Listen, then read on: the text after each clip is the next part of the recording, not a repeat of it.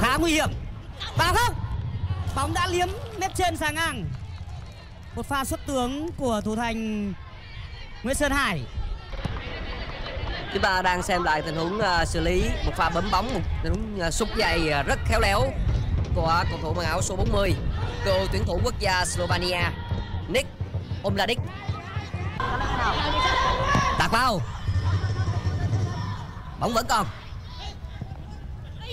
nguy hiểm vào không vào bóng chạm vào vùng dọc qua đáng tiếc sút. Cũng không được. Rồi đã trôi qua. Và người có nhiều bóng nhất vẫn là Việt Cường.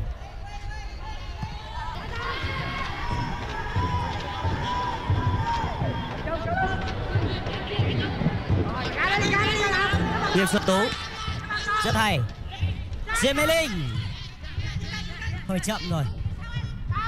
Lại là Nghiêm Xuân Tú. Quả tạt sở trường. Một không cho cao thủ Topilen Bình Định. Và người ghi bàn là Ravelson ở phần đầu à, của trận đấu thì vận động viên Trần Hải đã nói Nguyễn Xuân Tú là một trong những cầu thủ có khả năng truyền bóng chính xác và là người có tỷ lệ truyền bóng thành công à, cao nhất tại V-League năm ngoái. Đây là Jamie có khoảng trống sút khá nguy hiểm. Cú sút à, hướng về phía góc gần. Đường truyền là của Thanh Hào cho ra cơ hội đấy thôi. Khá chậm. Sút không vào. Duy Khánh sẽ là người thực hiện pha đá phạt và nhiều khả năng là sút thẳng.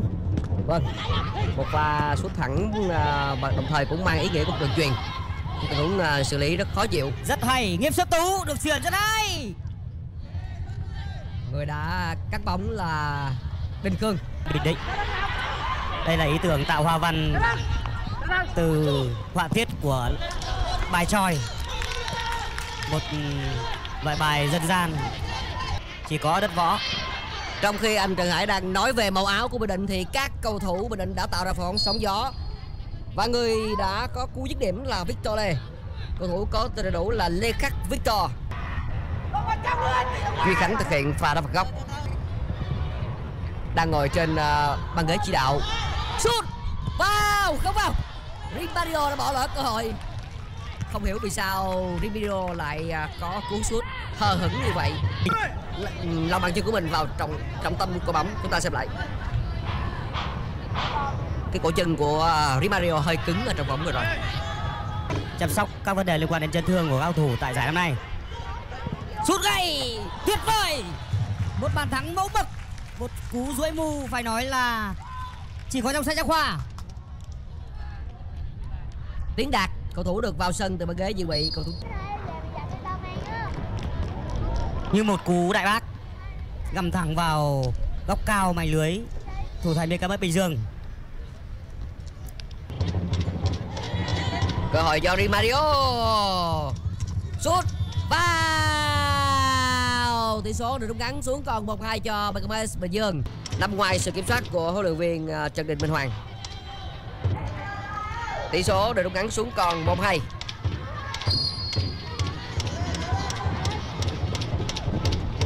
bản năng sắc. Và trọng tài Ngô Duy Linh đã thổi còi cho trận đấu khép lại. Chiến thắng với tỷ số 2-1 thuộc về đội Topaland Bình Định. Người ghi bàn mở tỷ số là Rafaelson sau đó thì à, Tiến Đạt đã nâng số lên 2-0 cho Topaland Bình Định.